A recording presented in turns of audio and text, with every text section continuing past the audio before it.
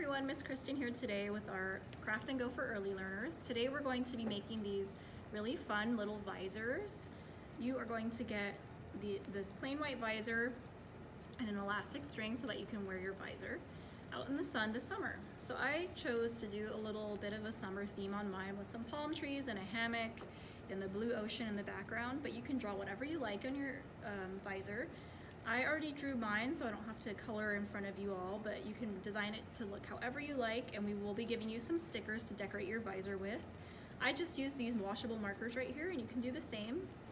And I'm going to add some fun glittery stickers to the visor.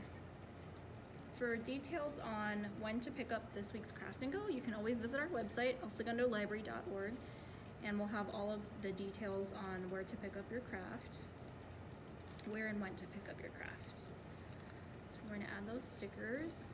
And if you haven't yet, don't forget to sign up for our online summer reading program to win uh, prizes and earn badges for reading all summer long.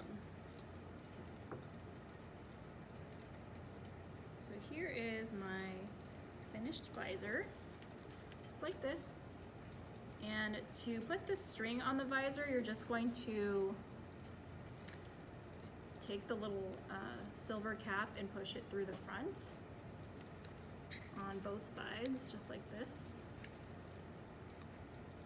And then you will have your ready to wear visor, just like that. There's your visor.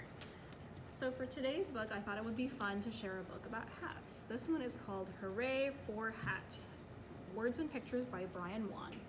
When Elephant wakes up, he's grumpy, but the doorbell rings and Elephant gets a wonderful surprise, a very beautiful hat. Elephant shows Zebra, but Zebra is grumpy too, until Elephant shares a hat with Zebra.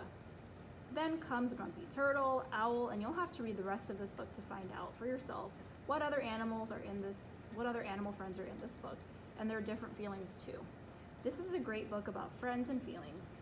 So I highly recommend that you check this book out using Library to Go. You can do that by visiting our website or giving us a phone call and we'll happily place this on hold for you. Thank you guys for watching and we'll see you in our next video. Goodbye.